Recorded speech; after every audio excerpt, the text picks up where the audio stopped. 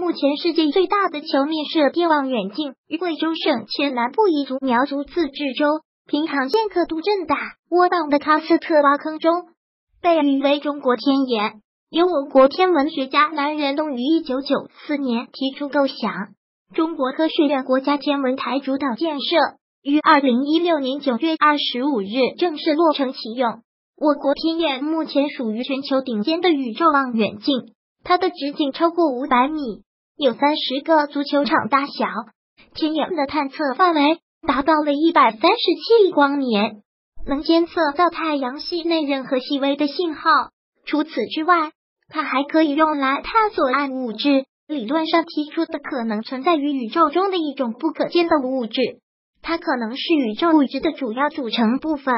但又不属于构成可见天体的任何一种目前已知的物质和暗能量驱动宇宙运动的一种能量，它和暗物质都不会吸收、反射或者辐射光，所以人类无法直接使用现有的技术进行观测，甚至是中子星是恒星演化到末期，经由重力崩溃发生超新星爆炸之后，可能成为的少数终点之一，它也能够探测到。但霍金生前一直都反对天眼的建造，因为天眼不仅用于探索宇宙，还可以用来搜集宇宙中的信号。霍金认为天眼望远镜的功能虽然很强大，但是人类目前来收集联系外星生物还有点太早，可能会为人类带来灾难。很多国内网友看到霍金的回答后，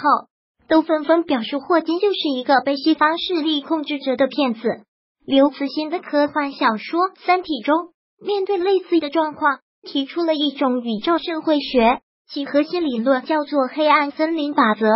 宇宙就是一座黑暗森林，每个文明都是带上的猎人，像幽灵般前行于林间，轻轻拨开道路的树枝，竭力不让脚步发出一点声音，连呼吸都必须小心翼翼。他必须小心，因为林中到处都有。与他一样前行的猎人，如果他发现了别的生命，能做的只有一件事：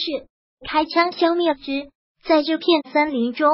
他人就是地狱，就是永恒的威胁。任何暴露自己存在的生命都将很快被消灭。通俗的说，就是文明和文明之间不可能有真正的沟通，不可能有真正的信任。一旦接触，往往都是消灭对方。说到底。就是弱肉强食，适者生存。该法则基于两条公理：